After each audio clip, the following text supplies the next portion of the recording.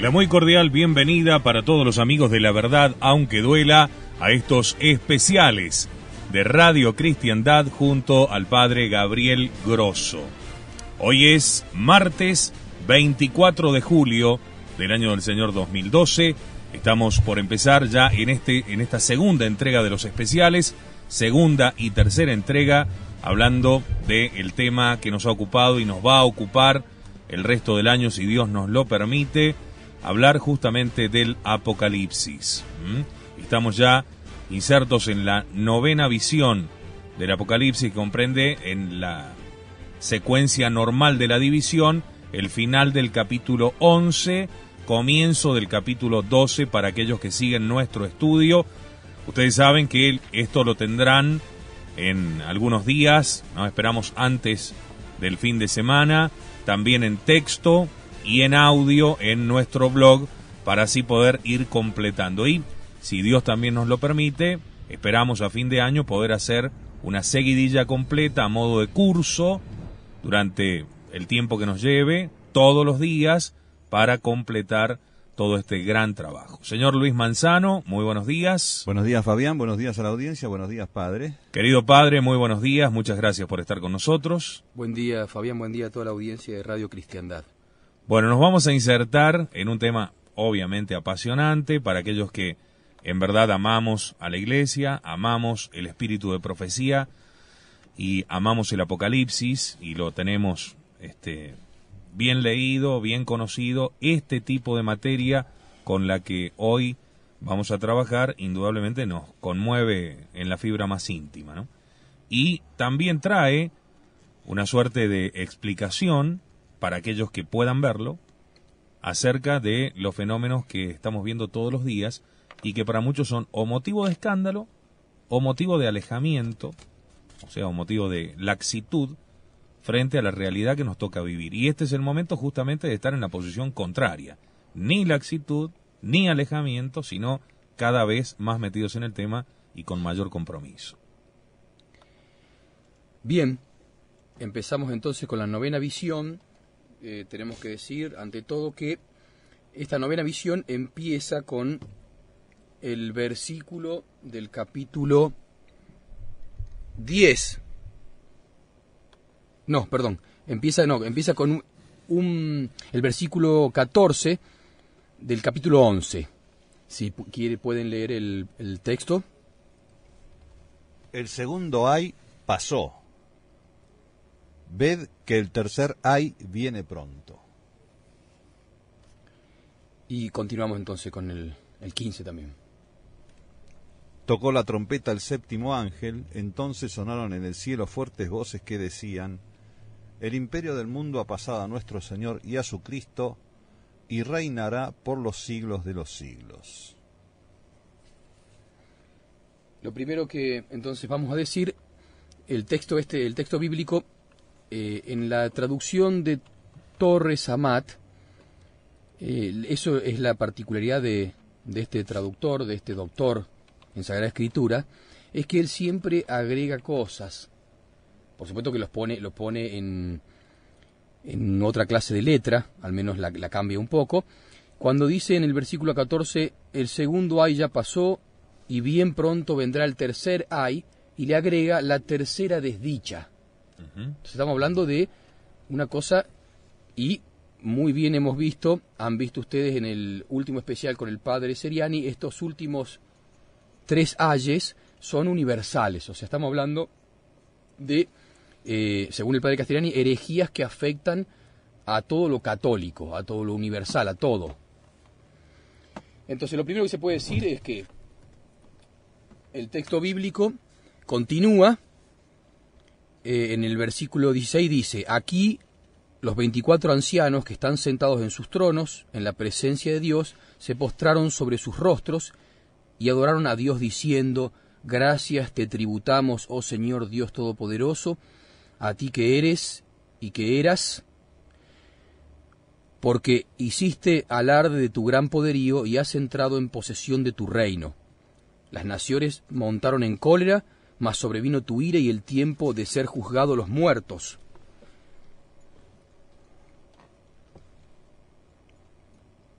Entonces, lo primero que podemos notar es que en el texto bíblico aparece el imperio de nuestros, dice, el imperio del mundo ha pasado a nuestro Dios, nuestro Señor y a su Cristo. Estas palabras se van a repetir en el próximo capítulo, en el capítulo 12. En el capítulo 12, versículo 10 dice, ¿Alguien puede leer el capítulo 12, versículo 10? Sí. Em,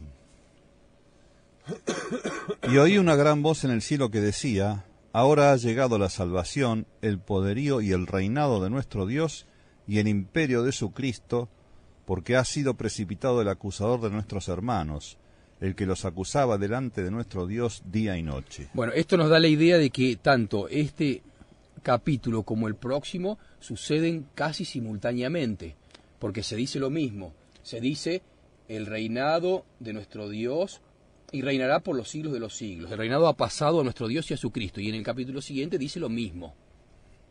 Pero el reino efectivo no se logra todavía.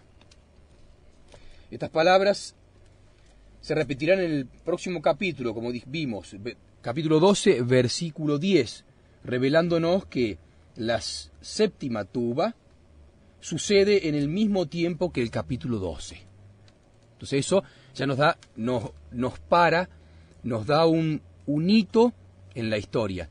Pasan juntos este capítulo con el capítulo 12 con la mujer coronada. Y vamos a ver que también aparecerá el anticristo, aparecerá el pseudo profeta, aparecerá eh, el cordero reinando en el monte Sión con los 144 mil vírgenes, aparecerá también Babilonia, la, eh, la gran ramera y luego la destrucción de Babilonia y después viene efectivamente nuestro Señor. Sin embargo, aquí ya adelanta que el reino ha pasado a Dios y a su Cristo. Entonces podemos leer, podemos empezar a leer los comentarios que siguen al texto del padre Leonardo Castellani que están ahí en, el, en lo que vamos a poner después en el blog. Bien. Entonces, Arranca el comentario diciendo después suena la tuba y sigue la descripción de la parucía vista desde el cielo y como triunfo de Dios sobre el mal, más que como catástrofe de la tierra. Ya hemos visto que el fin del mundo significa dos cosas, el término temporal de la historia y el comienzo intemporal de la meta historia del hombre. El profeta llama aquí a Cristo aquel que es y que era, y no ya el viniéndose, puesto que aquí ya es venido. La parucía está netamente significada. La terminología meteorológica es típica del fin del siglo. En el Arca del Testamento ven algunos intérpretes a María Santísima, Federis Arca, visible en la tierra en los últimos tiempos por sus apariciones, su devoción recrecida, la definición dogmática de sus glorias y privilegios. Esta imagen ciertamente significa que algo de Dios se ve que antes no se veía. Él arriesga allí en su exégesis sobre la Virgen, pero luego aclara el panorama diciendo esta imagen, la de el arca, significa algo de Dios que se ve que antes no se veía. El Pantocrátor o Todopoderoso es Jesucristo, cuya divinidad San Juan no se cansa de enunciar. El séptimo ángel y el tercer ay es la parucía. Mas ay de la tierra y del mar, porque descendió a vosotros el diablo lleno de gran furor, sabiendo que le queda poco tiempo Apocalipsis 12:12. 12. Bueno, ahí salta de nuevo y explica, en el capítulo siguiente, explica qué es el ay, el tercer ay. Entonces eso también nos da la misma idea que el anterior. Suceden simultáneas, simultáneos estos dos capítulos, al menos estos dos capítulos, no nos adelantamos al capítulo 13, estos dos capítulos suceden simultáneos. ¿Por qué? Y explica, ¿qué es el ay? El ay es ay a la tierra y al mar, porque descendió a vosotros el diablo lleno de gran furor, sabiendo que le queda poco tiempo. Esto es muy interesante porque ¿qué es el mar? En la Sagrada Escritura, dicen el padre Castellani, la tierra suele ser la religión, el mar, el mundo. Pero también el mar es ese lugar que Dios prometió a Abraham, haré tu descendencia como las arenas del mar. Y la tierra es la religión. Entonces, aquí ya hay una referencia a dos realidades, a la tierra, a la religión, y al mar, a la descendencia de Israel, descendencia carnal de Abraham. Hay de ellos. El en el capítulo 10, versículo 7, se nos dice, y ahí se nos explica entonces el ay. Y ahora en el capítulo 10, versículo 7, se nos explica la séptima trompeta. Se nos dice que con la séptima trompeta el misterio de Dios quedará consumado, no obstante se anuncia el tercer ay. El misterio de Dios queda consumado y está relacionado con el tercer ay, con esa aflicción.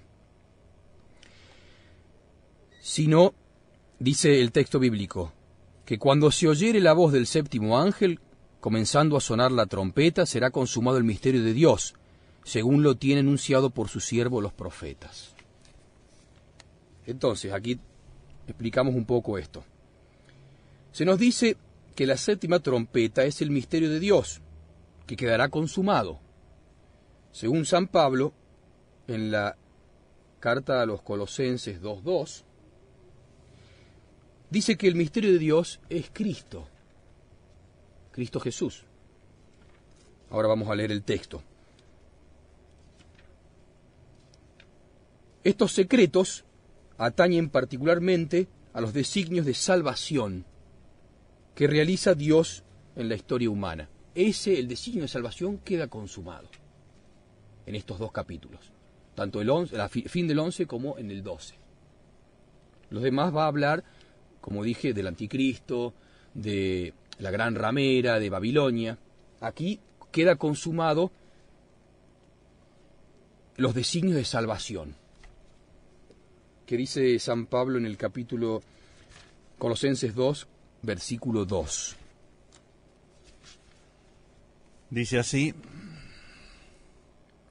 a fin de que sean consolados sus corazones, confirmados en el amor y en toda la riqueza de la plenitud de la inteligencia, de modo de llegar al conocimiento del misterio de Dios que es Cristo. El misterio de Dios es Cristo. Y Cristo en relación a su obra salvífica, su obra salvadora. En otro versículo se dice, a vosotros se os ha dado el misterio del reino de Dios. Para los de afuera, todo les llega en parábolas, dice el Evangelio de San Marcos. A vosotros os es dado el misterio del reino de Dios. Para los de afuera, les llega en parábolas. para que mirando no vean, oyendo no entiendan, no sea que se conviertan y se les perdone.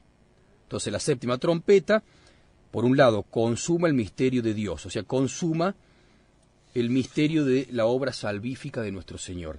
Y este misterio sabemos, como dice muy bien nuestro Winger, el misterio de Dios es Cristo. Para los discípulos es dado el misterio y las parábolas les son explicadas. ¿Qué significa? ¿Qué significa esto? Es el endurecimiento de algunos, hoy en día de la gran mayoría, y el entendimiento de otros. Entonces habla de unos que entenderán y otros, los de afuera, se les habla en parábolas para que no entiendan. Entonces, para los discípulos es dado el misterio. Para los de afuera se les abren parábolas. Significa el endurecimiento del reino conforme al designio de Dios, testimoniado por las antiguas profecías, instaurar su reino acá abajo. Cristo, el misterio, queda consumado, la humanidad dividida en dos. Los discípulos lo acogen entran en el misterio entienden que el misterio, que es un don de Dios, y los de afuera le cierran el corazón. Entonces aquí queda consumado eso. Quedan bien divididos las personas. Esta sabiduría, dice San Pablo, continúa, sabiduría y misterio. Ninguno de los primeros, ninguno de los príncipes de este mundo lo ha conocido, pero nos ha sido revelado por el Espíritu que escruta hasta las profundidades de Dios.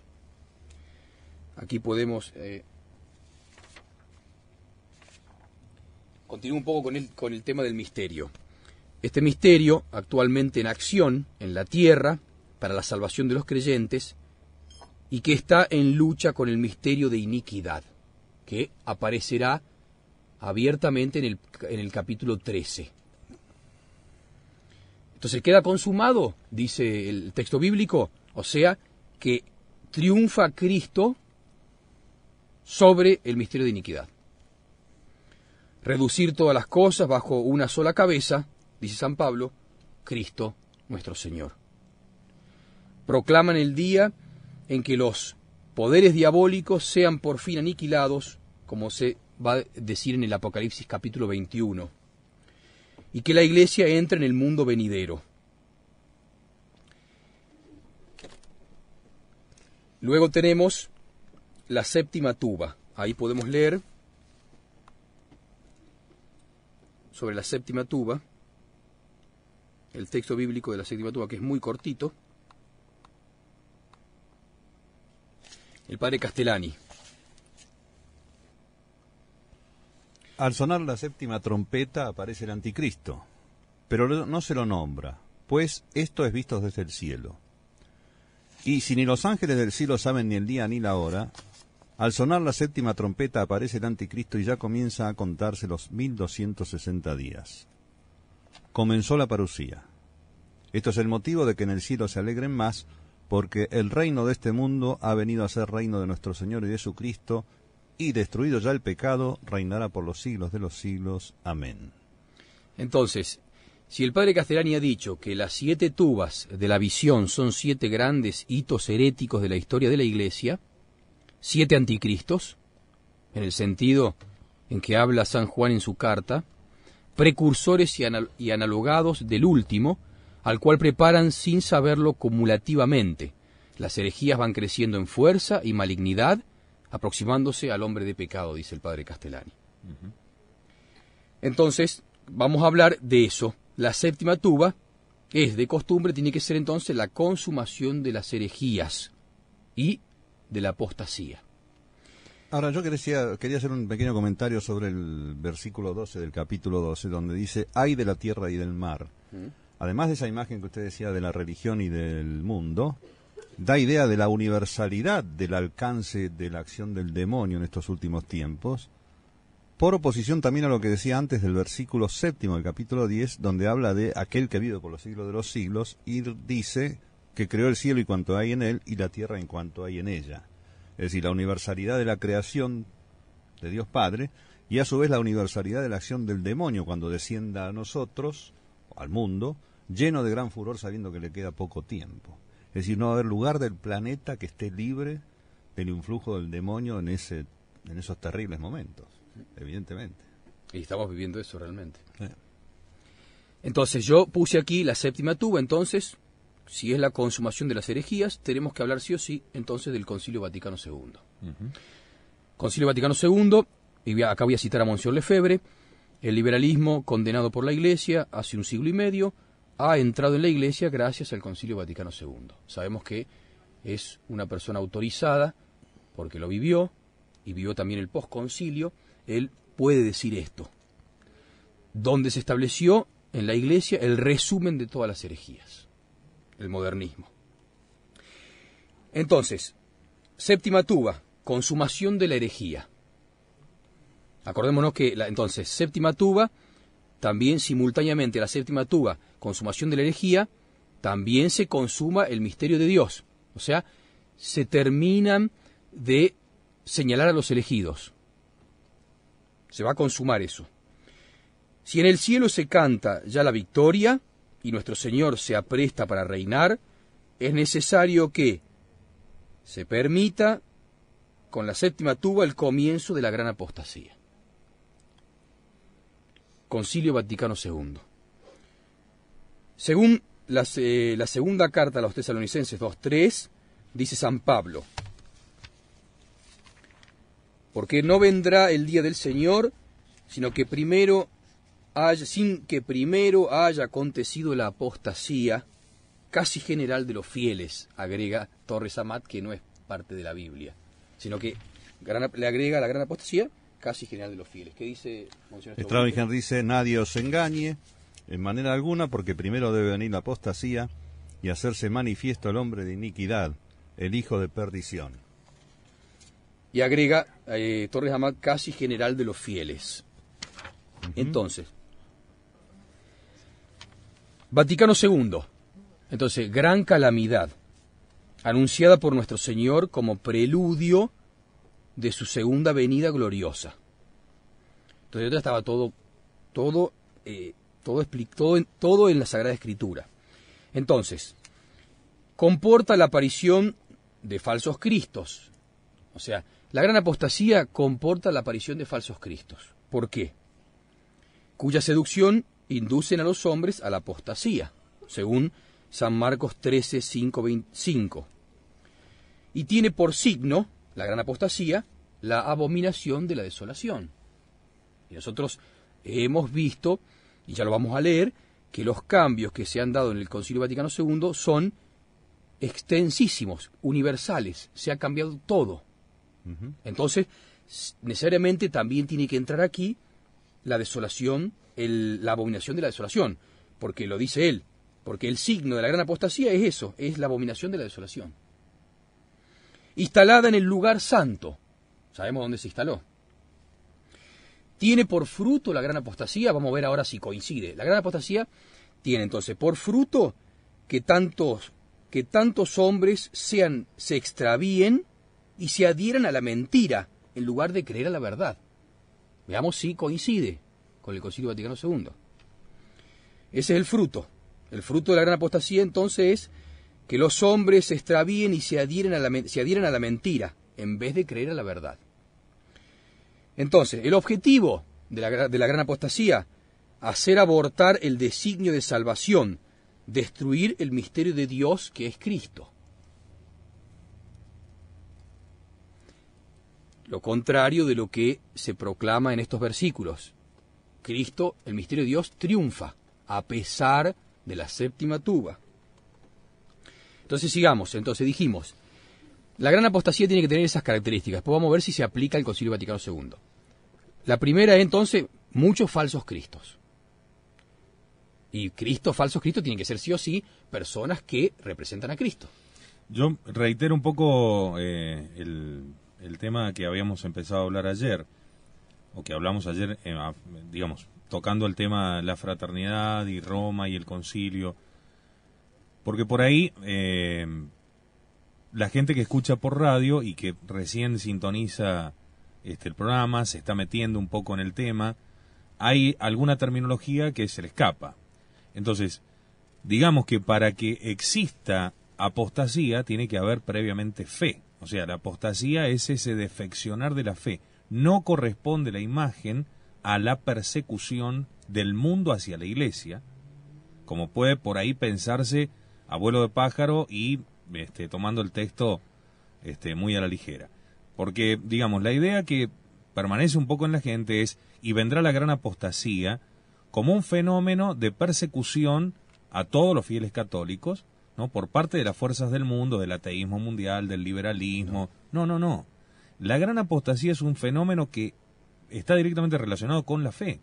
O sea, es un fenómeno religioso que se da justamente en el seno de la iglesia. No tiene otro lugar, no tiene otra cabida, forma parte de los católicos y es justamente el defeccionar de la fe adintra. Por eso está, por eso digo, por eso decía yo, comporta, primero, la aparición de falsos cristos. Los falsos cristos no se dan fuera de la, de la, religión, de los, de los cristianos. Falsos cristos. Signo, abominación de desolación. Fruto, que todos los hombres se extravíen y crean en la mentira y dejen la verdad. Y objetivo, hacer abortar el designio de salvación, destruir el misterio de Dios. O sea, destruir la religión. Como no pudieron, cambiar la religión. Le vamos a ver si después se puede aplicar el Concilio Vaticano II. Claro, claro. Y, se puede, y si se puede aplicar de una manera universal. Porque estamos hablando de un hay que tiene una magnitud universal. Entonces, hablemos un poco entonces de la apostasía. La apostasía es una empresa que, según la Sagrada Escritura, proseguirá sin reposo, cosa que no han entendido hoy. Han creído que porque se libró la tradición del Concilio Vaticano II, la empresa de la apostasía no iba a continuar. Y no, sabemos por la Sagrada Escritura que la apostasía continúa sin reposo. Entonces, una empresa que proseguirá sin reposo, situando a los hombres, sobre todo a los que tienen autoridad, en el interior de una lucha de que nadie puede escaparse. Si uno es sacerdote, si uno es obispo, si es papa, sí o sí, sí o sí, necesariamente se mete en el interior de una lucha en la que nadie puede escapar. Porque es ese tiempo en la cual todos tienen que decidirse. El que no está conmigo está contra mí, se aplica más que nunca a las palabras de nuestro Señor. El que no está conmigo está contra mí. La apostasía es la que induce siempre, según San Pablo, y esto es muy interesante, a crucificar de nuevo por su cuenta al Hijo de Dios. Sería interesante que leamos el texto de Hebreos 6.6, no 666, sino Hebreos 6.6. Porque ahí habla de lo que es realmente la apostasía. Y si uno después dice la gran apostasía, le puede agregar cosas. San Pablo nos da una idea de lo que es la apostasía y muestra, como ya lo vamos a ver, que es sin retorno. Dice así San Pablo en su epístola a los Hebreos capítulo 6 versículo 6. Y han recaído, imposible es renovarlos, renovarlos otra vez para que se arrepientan, por cuanto crucifican de, crucifican de nuevo para sí mismos al Hijo de Dios y le exponen a la ignominia pública. Perfecto. Y el versículo anterior dice... Y experimentaron la bondad de la palabra de Dios y las poderosas maravillas del siglo por venir. Sigo, y han recaído. Es decir, son los que estaban en la fe, verdadera, claro, lo la que bondad de las palabras de Dios y las poderosas maravillas del siglo por venir, y han recaído. Imposible es renovarlos otra vez para que se arrepientan, por cuanto crucifican de nuevo para sí mismos al Hijo de Dios y les ponen a la ignominia pública. Comenta Monseñor Straubinger esto de la apostasía. Dice, aquí se refiere a la apostasía de la fe. Otra característica, apostasía de la fe.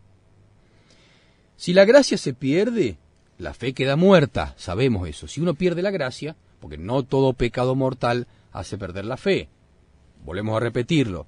Los únicos pecados que hacen perder la fe son apostasía, cisma, herejía, infidelidad, o sea, no cumplir reiteradamente muchas veces el deber de Estado, y la impureza a largo plazo. O sea, tanto la infidelidad como la impureza es a largo plazo. Ahora, apostasía, cisma y herejía, se pierde automáticamente la fe. Dios quita la fe.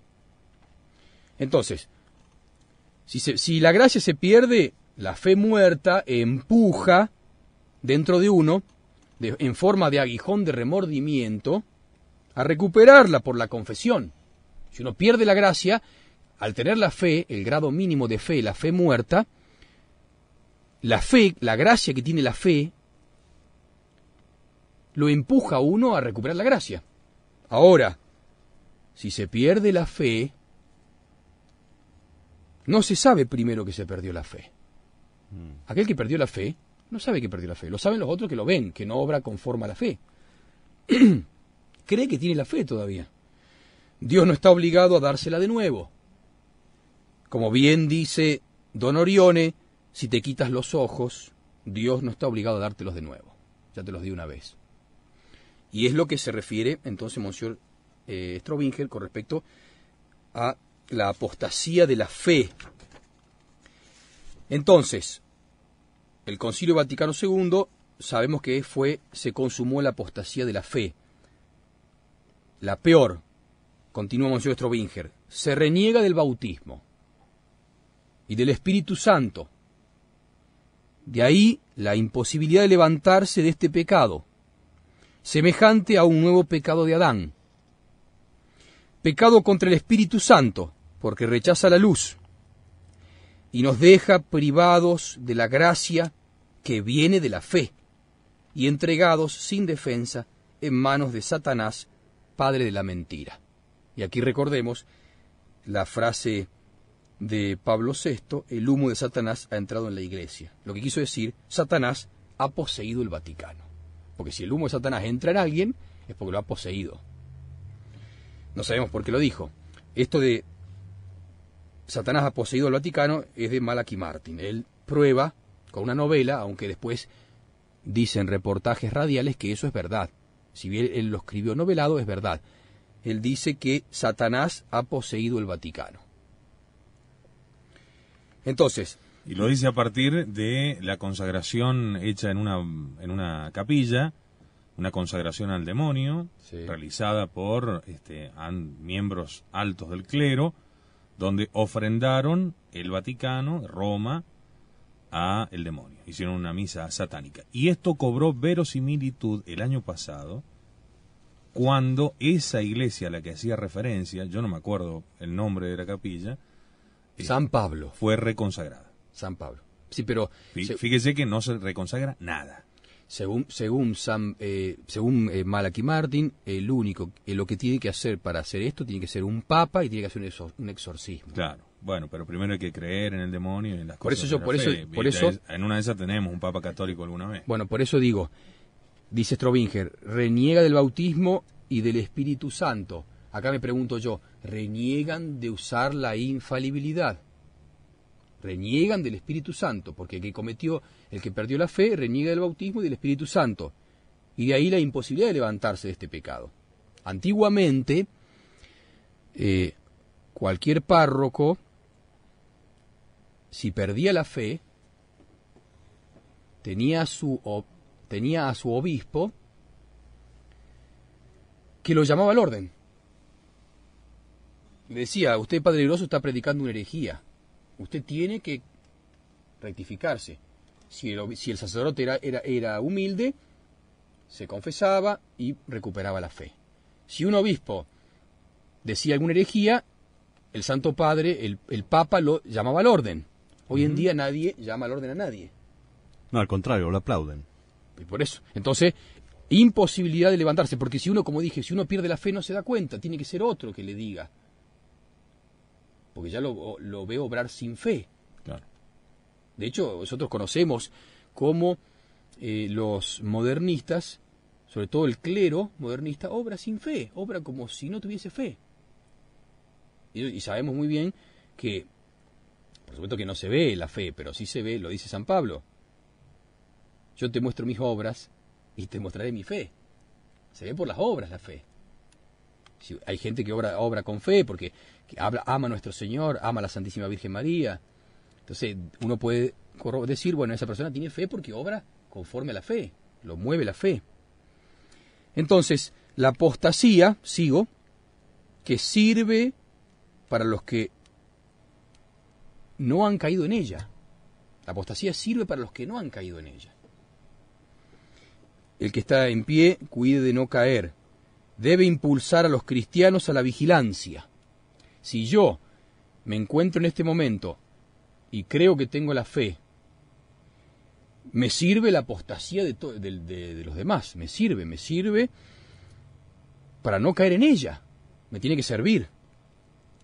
Debe impulsar a los cristianos a la vigilancia, exigida por la fe en el día del Señor. Nuestro Señor va a exigir en su día la fe, la fe pura, la fe virgen. Entonces la vigilancia, la fe me exige vigilancia, me exige velar. Velar es resistir a la apostasía de los últimos días. Para eso se usa la palabra velar. Porque dice, velad para que tengáis fe en el día del Señor. Velar entonces resistir a la apostasía de los últimos días y es estar apercibido para recibir a Cristo que viene. ¿Cuántos están apercibidos para recibir a Cristo que viene? ¿Cuántos creen que Cristo viene? ¿Cuántos lo esperan? ¿Cuántos están velando? La gran apostasía exige a los discípulos una oración y una sobriedad continua. Entonces, no sé si todas estas características se pueden aplicar al Concilio Vaticano II. Apostasía, gran apostasía, falsos cristos, signo abominación de la desolación, fruto que la gran mayoría de los hombres se extravíen, dejen la verdad y adhieran a la mentira, y el objetivo hacer abortar el designio de Dios en la salvación, o sea, cambiar la religión. Ahora, eh, pregunto una cosa, padre, para precisar. Usted dice que el que pierde la, la, fe no se da cuenta. Claro. Y pareciera como hay una especie de falta de culpa en eso, pero ha habido antes una negligencia y un incurrir en conductas totalmente alejadas de lo que es la vida de la fe eh, manifiesta, Sí. y por eso se pierde la fe, digamos así, insensiblemente. Pero no quiere decir que no haya responsabilidad y culpa de aquel que No, la por pierde. supuesto, sí, no, no, por supuesto, nadie, nadie, nadie comete un pecado mortal por inadvertencia, Claro. primero. Si no, no es pecado mortal. Por eso, entonces menos, nadie pierde la fe por inadvertencia. Claro. Nadie pierde la fe si no, si no es por culpa propia. Exactamente, pero lo que quiero decir es que cuando uno pierde la fe, como la fe, como todas las cosas que hace Dios, es lo hace Dios muy suave, ¿cuántas veces uno eh, piensa con fe y en el interior cree que ese pensamiento es de uno porque es muy suave todo eso? Parece que es una- un pensamiento de uno y un pensamiento de fe, ¿entiende? Sí, sí, que sí, se agrega. Entonces, la persona que perdió la fe solo se puede dar cuenta que perdió la fe si llega a ver a otra persona que tiene fe. Y está el famoso, el famoso, la famosa anécdota de ese, era un, un hombre, creo que era un escultor famoso que había perdido la fe. Y vio por la ventana un sacerdote que llevaba el viático. Y vio a los acólitos revestidos con dos candelabros que iban y con la campanilla acompañando al sacerdote. Por supuesto estamos hablando de la época donde la, la- sociedad era cristiana se llevaba el Santísimo el viático, se lo llevaba también con toda la solemnidad. Entonces este hombre dice, ¿cómo me gustaría tener fe? Dijo. Porque él no, le había, no se había dado cuenta, pero se dio cuenta cuando vio pasar al sacerdote con el viático y a los niños que escol- escoltando al Santísimo Sacramento. Y él ahí se dio cuenta de que él había perdido la fe en el Santísimo Sacramento. Porque vio la fe en otros, como usted dice. Exactamente. Y eso tal vez lo movió. Y eso también está. Hay que leer el, pasaje bíblico de de el encuentro entre nuestro Señor y el apóstol que perdió la fe.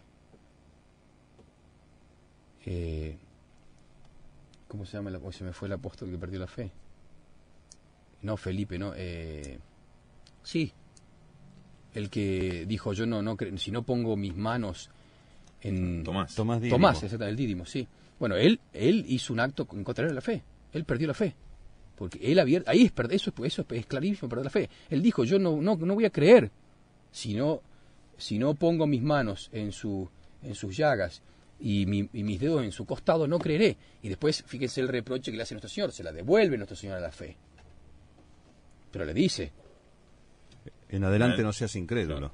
entonces él Digamos que por el pecado eh, se pierde la gracia sacramental, se pierde la caridad. sí Pero no necesariamente se sigue del pecado mortal la pérdida ni de la esperanza ni de la fe. Y de las tres, la última que se pierde es la fe. sí Hay que tener actos directamente contrarios para poder perder la fe. Por eso yo decía, nadie pierde la fe si no es por culpa propia. claro sí Está bien que uno sin la caridad va enfriándose cada vez más, cada vez más lejos, cada, justificándose. A mí me, to- me ha tocado pasar en algunos casos este, con algunas personas cercanas algo así eh, y es realmente terrible, ¿no? Terrible, espantoso. Decir, bueno, pero Dios a mí no me da resultados. Yo no veo los resultados palpables, ¿no? Y bueno, pero ¿y por qué seguís eh, intentando llevar una vida buena? Y por todas las cosas que me han metido en la cabeza. Pero yo no creo más. y apenas pueda desligarme de toda esta carga que, que queda en mi intelecto, de creer que esto es, pecado, de creer que esto está mal, me lo sacaré de encima. Eso es la apostasía. Bueno, y esa, pero esa persona se daba cuenta que no tenía fe al hablar con, con vos. Claro. Pero en el fondo decía, me queda el resabio de aquello que he aprendido. Y todavía no me lo puedo desligar, pero apenas pueda desligármelo, me lo sacaré de encima. Claro. Sí, sí, sí, sí, sí, Entonces, pero necesariamente tiene que haber fe para poder haber apostasía. Yo hago esta, diferencia porque no es la persecución del mundo, sino que es algo interno. Por eso cobra verosimilitud la identificación del tercer ay con el Concilio Vaticano II. Sí, por eso digo, pero a eso vuelvo a repetir esto. La gran apostasía tiene que tener estas características: falsos cristos, signo, abominación de la desolación. Claro, porque alguien pregunta, por ejemplo, ¿y qué pasa con respecto a los protestantes? Sí. ¿no? Que saben que eh, vuelve el Señor y lo predican. Y están predicándolo constantemente. Miren que. Y llevan una vida, digamos, moralmente sana. Bueno, sí, sí. bueno esos cuadran dentro de los falsos cristos. Sí, sí, sí, sí. Porque han hecho un Cristo a su imagen y semejanza. No adhieren, es lo mismo que veíamos con los judíos mesiánicos.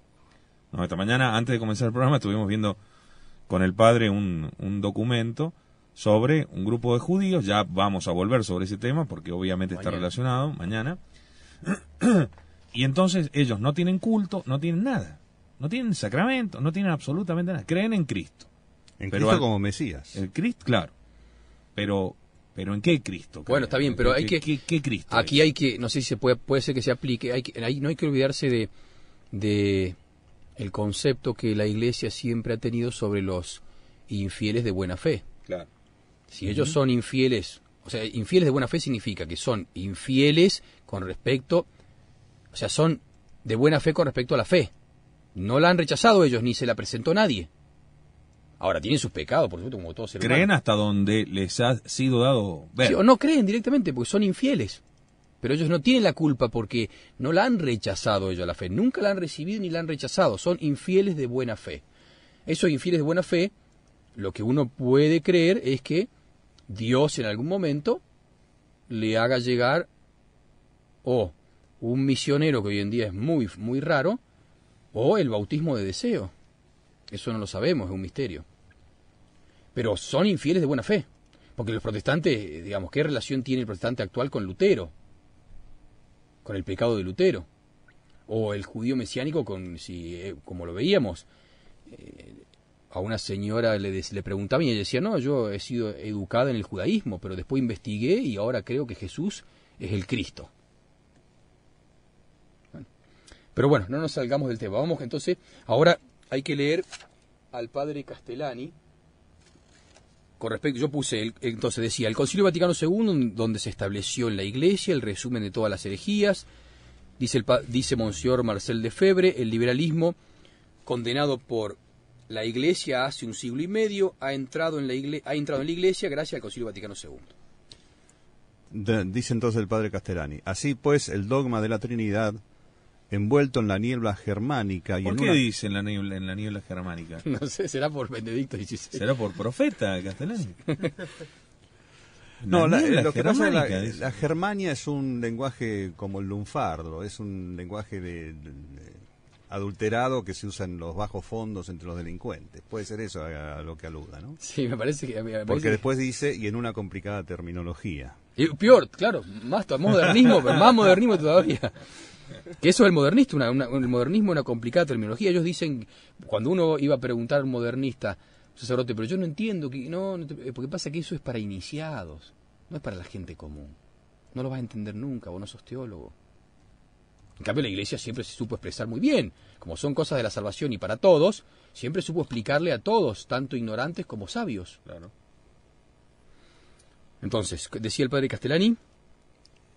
Así pues, el dogma de la Trinidad, envuelto en la niebla germánica y en una complicada terminología, se convierte en un pateísmo sutil que va a desembocar en la adoración del hombre, la gran herejía de nuestros tiempos, la última herejía que será, según la predicción de San Pablo, el sacrilegio del anticristo, el cual se exaltará y levantará sobre todo lo que es Dios, sentándose en el templo de Dios y haciéndose adorar como Dios. Eso lo dice en el Evangelio de nuestro Señor Jesucristo y luego en Domingueras Prédicas dice, ciertamente la crisis actual de la Iglesia tiene un carácter que no han tenido las otras. Es absolutamente total.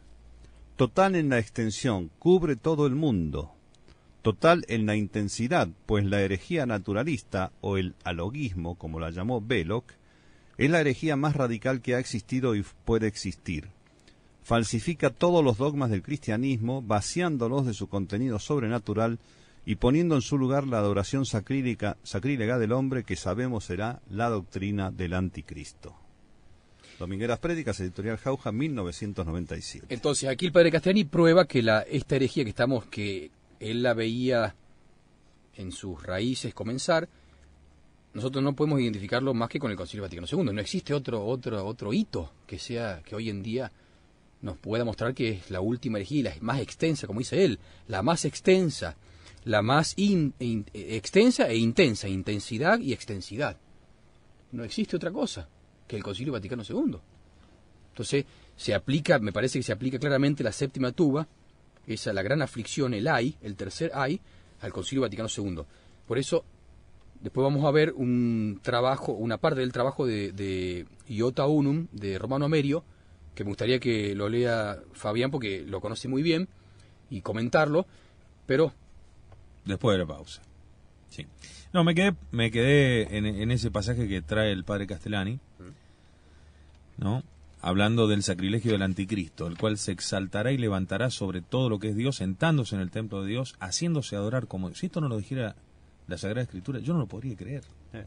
No, es que además... No lo podéis creer. Hace 60 años no se podía creer, menos todavía que hoy. Porque se veían otras cosas. Se veía el lugar de Dios ocupado por un vicario genuino de Dios y actuando como tal. Sí, si no, lea las últimas... Eh las últimas palabras de Müller, que del prefecto de la doctrina de el, guardián de la fe católica. Exacto, ese es el guardián. El guardián no está diciendo ya que, ¿qué no está diciendo? Afirmó el arzobispo Müller, prefecto de la Sagrada Congregación de la Doctrina de la Fe, esto lo tienen ustedes en el blog de Radio Cristiandad, entre otros lugares, sobre la libertad de religión, la libertad religiosa, el judaísmo y los derechos humanos que son que tienen implicaciones dogmáticas. Mire qué bien. O sea, esos son los nuevos dogmas a creer. El jefe de la Congregación para la Doctrina de la Fe ha dicho que el Concilio Vaticano II es obligatorio para un posible acuerdo con la ultraconservadora Fraternidad San Pío X. Ya le había dado carácter dogmático, total y absoluto, al concilio las declaraciones del concilio relativa a la libertad religiosa, al judaísmo y a los derechos humanos tienen implicaciones dogmáticas, dijo el sábado, este sábado último, el nuevo prefecto para la congregación de la doctrina de la fe. O sea que están ligados a dogmas. Exactamente. O sea que quien no cree en esto ya compromete su salvación. Habría que ver a qué dogma está ligado. Porque, no sé, por ejemplo... Bueno, ya había dicho Benedicto XVI que aquel que minimizara el holocausto no puede ser llamado católico. Bueno. Y con, la con, con el tema del levantamiento de la excomunión a Monseñor Williamson, en un reportaje, que creo que inclusive figura en el libro Luz del Mundo, la declaración, él dice, si yo hubiera sabido su posición frente al holocausto, no le hubiese levantado la excomunión. Claro. O sea que la causa de mantenerlo con la pena canónica, en principio, entre comillas, podría haber sido justamente el holocausto. Quiere decir que es de dogma. O sea, hay una fabricación dogmática. E impuesta por la cabeza. Impuesta por la cabeza, que ahora se explicita en el guardián de la fe. Sí, siempre, muchas veces se ha explicitado así. Bueno, pasa que antes, antiguamente, en el Santo Oficio, el prefecto era el Papa. Eso también lo cambiaron. El prefecto era el Papa. El guardián de la fe era el Papa. Exactamente. Ahora es otro. Ahora es notable la manipulación, porque en realidad la excomunión fue aplicada por una causa y se habría mantenido por otra. Claro. Es, que saben que es falsa esa excomunión primera. Entonces la tendrían que volver a declararla, y por otra causa, que es la que ahora mencionan. Bueno, enseguida más ¿eh? y con mayor profundidad vamos a analizar si corresponde o no esta identificación que nos propone el padre Gabriel Grosso acerca del tercer ay con el Concilio Vaticano II. Muy interesante. ¿Dónde va a escuchar estas cosas usted, doña Rosa, como dice el, el padre Grosso? ¿Dónde va a escuchar?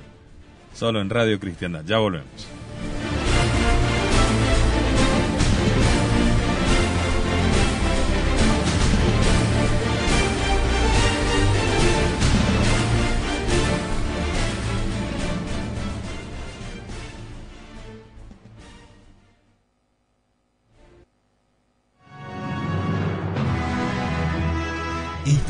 De la tradición católica. Radio Cristiandad. En 97.1. La verdad aunque duela.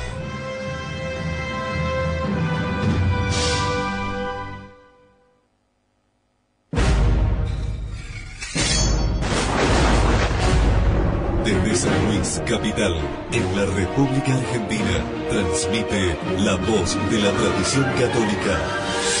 Radio Cristiandad. El bastión tradicional de habla hispana más importante del mundo.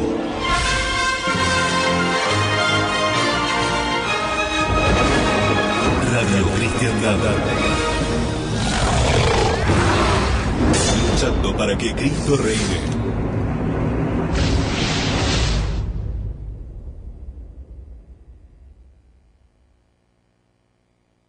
Es hora de decir la verdad. Cueste lo que cueste, caiga quien caiga. Es hora de pensar con una inteligencia cultivada y un criterio formado. Terminemos entonces preguntándonos qué perspectivas pueden preverse o qué perspectivas pueden plantearse frente a este fenómeno. Es decir, qué puede suceder frente a este terrible y dramático problema de la globalización. Hay una respuesta que es la que nos dicta la fe. ¿En qué consiste la respuesta que nos dicta la fe? En la certidumbre de que podemos estar ante un tiempo terminal o propiamente apocalíptico. Lo digo con absoluta sencillez, sin tremendismos, lo digo sin autoridad teológica alguna, y sin pretensiones exegéticas ni proféticas. Lo digo simplemente como bautizado que ha estudiado el catecismo y que sabe, porque el catecismo de nuestra niñez lo dice, que Cristo volverá y que cuando Cristo vuelva, cuando Cristo regrese, no encontrará fe sobre la tierra. También el mismo catecismo que hemos aprendido en nuestra infancia es el que nos habla de la existencia del anticristo. Pues bien, como simple catecúmeno, es de decir que la fe nos está indicando, la fe más elemental, la fe más primaria, nos está indicando que en esta sociedad agnóstica, atea, apátrida, anómica y ascédica, ya tiene donde sentirse cómodo el anticristo. De manera tal que, si el anticristo quisiera instalarse en alguna época, en esta se instalaría con total comodidad ya tiene sus tratantes de patria, sus tecnócratas, ya tiene sus profesionales de la mentira, ya tiene los apologistas de la traición, tiene pastores sin fe verdadera, tiene soldados sin guerras justas, tiene sacerdotes sin sacrificio, tiene desertores de la eternidad. Ahora bien, si la fe no llegara a dar esta respuesta, e insisto, lo estoy diciendo con absoluta sencillez, sin pretensiones proféticas y sin autoridad teológica, yo no soy teólogo, pero si esta fuera la respuesta que nos da la fe, la misma fe también nos da el remedio. Porque lo que la fe nos dice es que el Apocalipsis no es un libro de catástrofes. El Apocalipsis es un libro de esperanza. Porque en el Apocalipsis lo que se retrata es el triunfo de Cristo Rey.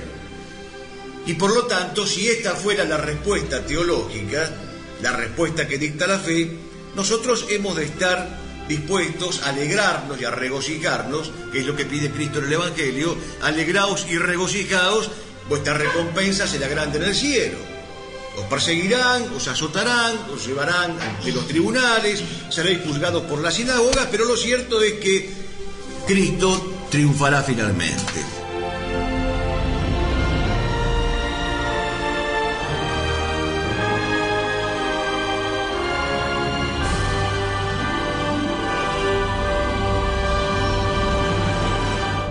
Solo por cristiandad. La radio.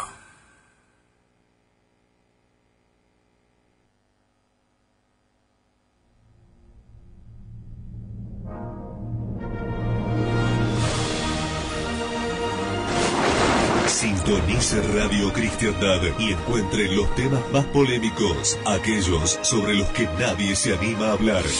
Las torres, los- las torres Quimeras y el Pentágono fue un engaño global. El gran problema para el cristianismo lo sigue representando el sionismo. Desde el 97.1 de la frecuencia modulada, la verdad de lo que ocurre en la iglesia y en el mundo con ojos católicos. Este monje maldito que fue Lutero. Un desafío solo para valientes que luchan para que Cristo reine. Eh, el colega Fabián Vázquez en, en la radio Cristiandad se refirió a este documento del Consejo Superior eh, tildándolo de eh, promarxista. Por el bien de las almas, de la patria y de la iglesia. Habéis olvidado vuestra dureza para con los pobres. Por eso, Radio Cristiandad renueva públicamente su compromiso de dar a conocer la verdad, aunque duela. Dios lo quiere.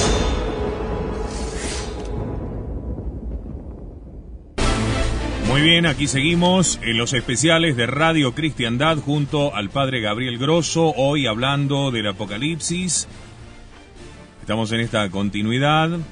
Hemos propuesto para hoy analizar el hacer una recapitulación de la última parte del capítulo 11 y adentrarnos ya en el capítulo 12, la novena visión, según la división del padre Castellani. Así que estamos hablando de los del último de los tres ay que resuenan en el cielo de manera universal y estamos trabajando sobre la hipótesis de la identificación de ese tercer ay y de la séptima tuba con el fenómeno apocalíptico sin dudas llamado Concilio Vaticano II. Sobre eso estamos. Aprovechemos, Padre, para mandar algunos saludos a la gente que nos está escuchando y que se está comunicando con nosotros a través de nuestro messen- messenger cristiandad.msn.com. Está Emilio Nazar en La Plata, está José Alirio Salgado en Bogotá, Colombia, está Patricio en Buenos Aires, está Gerardo también con nosotros aquí de San Luis, está Pablo Mesa, un abrazo Pablo, y Miguel Ángel Tambasia allí en Balcarce. Sí, Yo también quería mandar un saludo a Lucas Damario, que también dijo que nos iba a escuchar Ah, bueno. los especiales. Muy bien, muy bien. Sebastián Arreta, que debe estar escuchando seguramente. Eduardo, también debe estar escuchando este nuestro programa. Más allá de la comunicación, hay muchos amigos más que sabemos que escuchan este programa y las repeticiones. Antonella Cheli. Y muchos amigos y muchos enemigos también. ¿eh? No, no, por supuesto. Ojalá que los enemigos también escuchen así. Sí, sí, sí escuchan, padre. ¿Escuchan? Sí, sí. Bueno, Dicen saludo al padre pero-. Bien, entonces, eh, continuamos entonces para probar esta, la séptima tuba, el tercer ay. Vamos a leer un texto de Romano Amerio, del libro Iota Unum, sobre la universalidad del cambio operado por el Concilio Vaticano II. Este artículo es referido al post-concilio Vaticano II. Muy bien. La primera característica del periodo postconciliar es el cambio generalizadísimo que revistió todas las realidades de la Iglesia, tanto ad intra como ad extra. Bajo este aspecto, el Vaticano II supuso una fuerza espiritual tan imponente que obliga a colocarlo en un puesto singular en la lista de los concilios. Yo recuerdo que Romano Merio No este, era. es- no era no miembro de la fraternidad ni tradicionalista, era un filósofo, demoró 20 años en escribir este libro. No, y aparte participó del estudio sobre los documentos del Concilio Vaticano II que le pidió su obispo. Exacto, como perito. Esta universalidad de la variación introducida plantea además la siguiente cuestión. ¿No se trata quizá de una mutación sustancial, como hemos dicho, análoga a la que en biología se denomina modificación del idiotipo? La incógnita planteada consiste en saber si no se estará produciendo el paso de una religión a otra, como no se recatan en proclamar muchos clérigos y laicos. Si así fuese, el nacimiento de lo nuevo supondría la muerte de lo viejo, como sucede en biología y en metafísica. El siglo del Vaticano II sería entonces un magnus articulus temporum, la cima de uno de los giros que el espíritu humano viene haciendo en su perpetuo revolverse sobre sí mismo. El problema puede también plantearse en otros términos.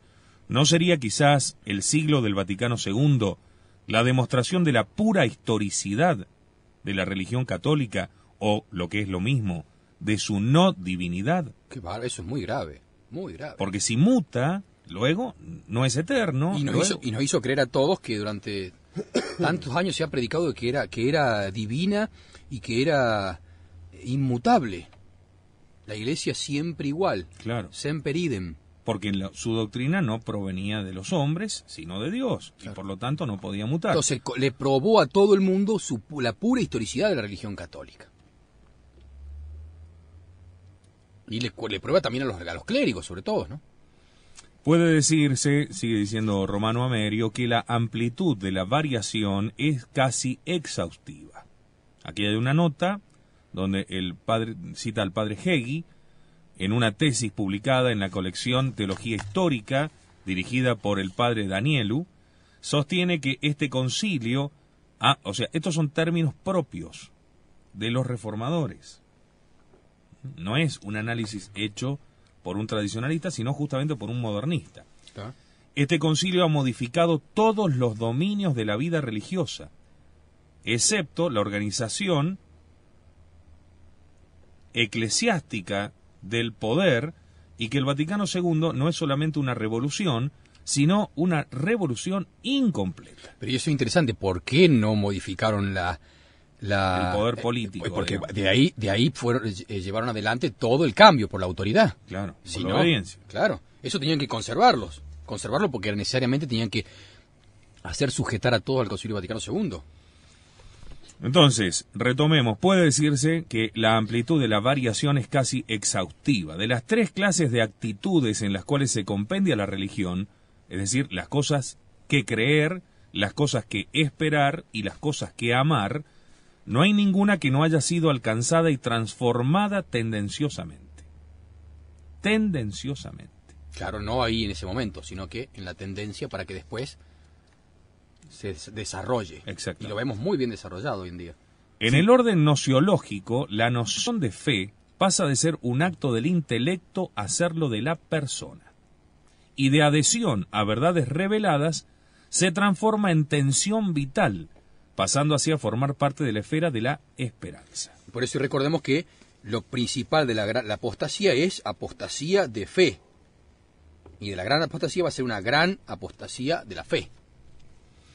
La esperanza desprecia, deprecia su objeto propio convirtiéndose en aspiración y expectativa de una liberación y transformación terrenales. Es decir, judaización. Claro, un mesianismo eh, sionista, mesiánico. Sí, es lo que está proclamando los documentos del Vaticano últimamente, ¿no?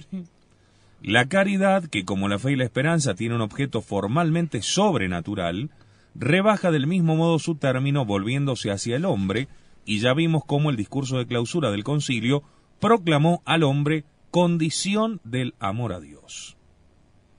Pero no sólo han sido alcanzados por la novedad estas tres clases de, de actitudes humanas concernientes a la mente, sino también los órganos sensoriales del hombre religioso y creyente.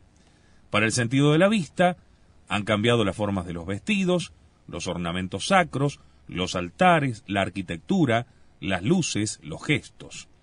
Para el sentido del tacto, la gran novedad ha sido poder tocar aquello que la reverencia hacia lo sagrado hacía intocable. O sea, la comunión en la mano. Sí, y poder beber del cáliz. Claro. Al sentido del gusto le ha sido concedido beber del cáliz. Claro. Al olfato, por el contrario, le resultan casi vetados los olorosos incensarios que santificaban a los vivos y a los muertos en los ritos sagrados.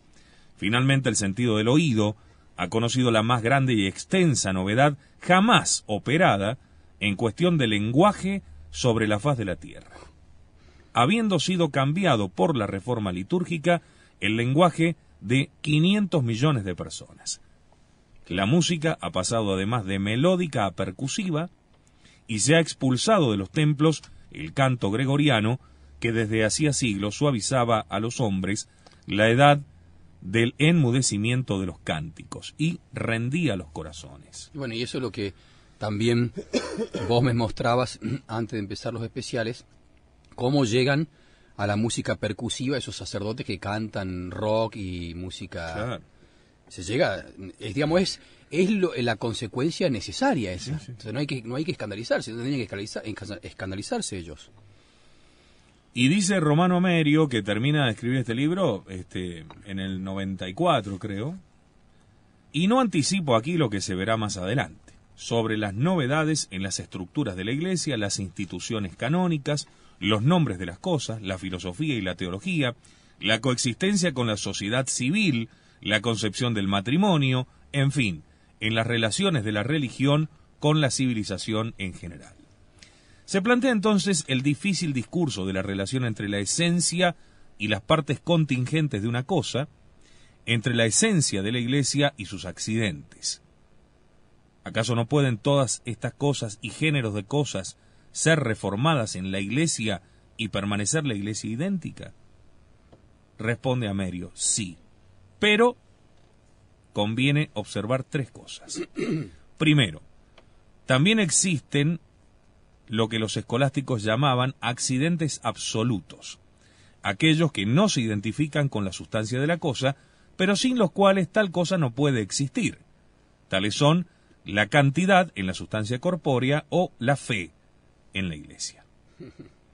Segundo, aunque en la vida de la iglesia haya partes contingentes, no todos los accidentes pueden ser asumidos o excluidos indiferentemente por ella ya que así como toda cosa posee unos accidentes determinados y no otros, una nave de 100 estadios, decía Aristóteles, ya no es una nave, y así como, por ejemplo, el cuerpo tiene extensión y no tiene conciencia, así la Iglesia se caracteriza por ciertos accidentes y no por otros, y los hay que no son compatibles con su esencia y la destruyen.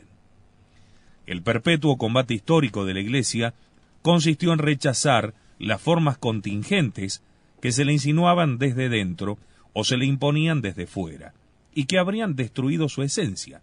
Por ejemplo, ¿no era acaso el monofisismo un modo contingente de entender la divinidad de Cristo? ¿Y el espíritu privado de Lutero no era acaso un modo accidental de entender la acción del Espíritu Santo? Tercero, aunque las cosas y los géneros de las cosas afectados por el cambio posconciliar son accidentes en la vida de la Iglesia, estos no se deben considerar indiferentes, como si pudieran ser o no ser, ser de un modo o ser de otro, sin que resultase cambiada la esencia de la Iglesia. No es ciertamente este el lugar para introducir la metafísica y aludir al de ente et esencia de Santo Tomás, sin embargo, es necesario recordar que la sustancia de la Iglesia no subsiste más que en los accidentes de la Iglesia, y que una sustancia inexpresada, es decir, sin accidentes, es una sustancia nula, un no ser. Por otra parte, toda la existencia histórica de un individuo se resume en sus actos intelectivos y volitivos. Ahora bien, ¿qué son intelecciones y voliciones sino realidades accidentales que accidunt vienen y van, aparecen y desaparecen. Y sin embargo el destino moral, de salvación o de condenación, depende precisamente de ellas. Por consiguiente, toda la vida histórica de la Iglesia es subida en sus accidentes y contingencias. ¿Cómo no reconocerlos como relevantes? Y si se piensa, como sustancialmente relevantes. Y los cambios que ocurren en las formas contingentes no son cambios accidentales e históricos de la inmutable esencia de la Iglesia. Aquí yo agregué otro texto que también es de Romano Merio, que él habla de la diferencia entre el sílabus, que se refiere al sílabus,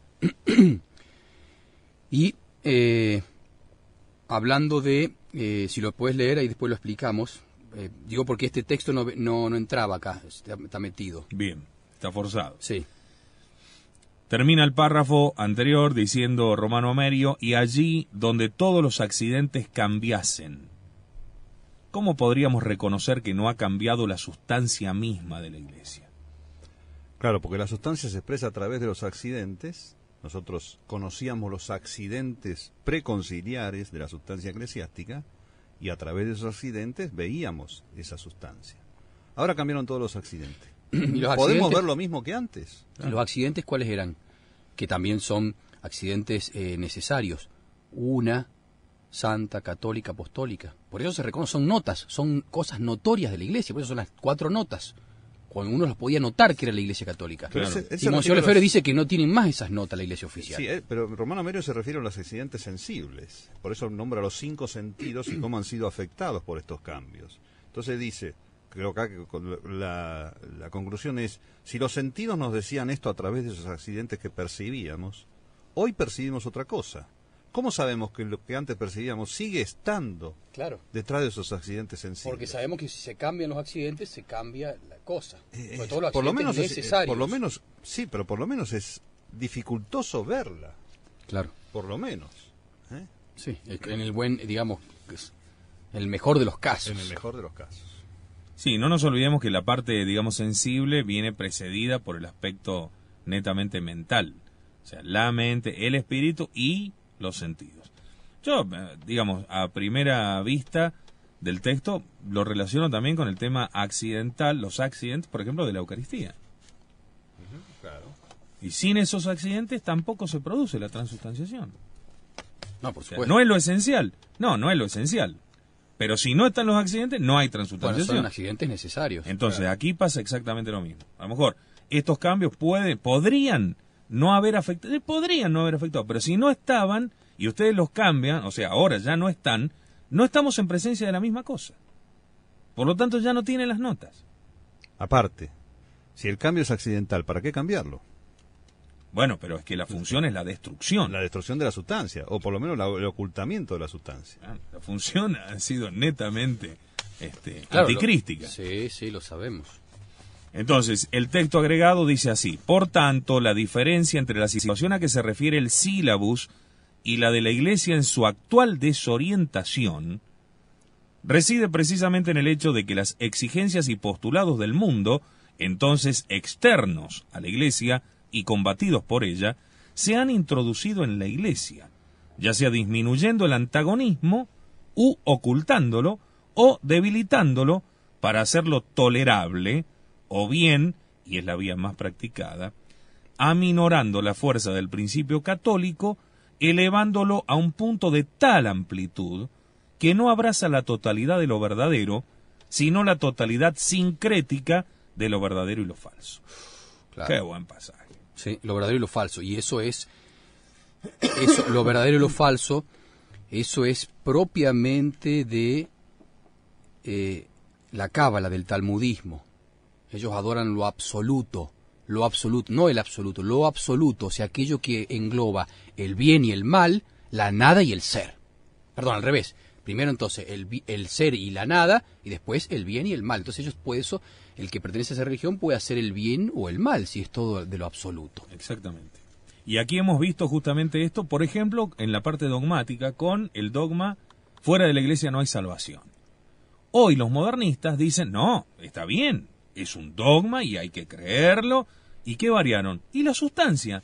Dijeron, bueno, ¿y hasta dónde llega la iglesia? claro ahí está el concepto de amplitud que le han dado al concepto Claro. de iglesia al- La iglesia abarca a todos. A- decía Juan Pablo II, aún hasta los ateos. Entonces, ahora, fuera de la iglesia no hay salvación. Y claro, ¿y quién está fuera de la iglesia? Nadie. Sí, ahora, antes en el concilio se decía, antes del concilio, fuera de la Iglesia Católica no hay salvación. Durante el concilio, fuera de Cristo no hay salvación, para que entren los protestantes. Después del concilio, fuera de Dios no hay salvación. Y ahora se va a decir, fuera del anticristo no hay salvación. claro Y claro, se va a eso. Está bien. Muy bien. Y suena la séptima trompeta. y aparece el anticristo. Claro, realmente aparecieron los anticristos, ¿no?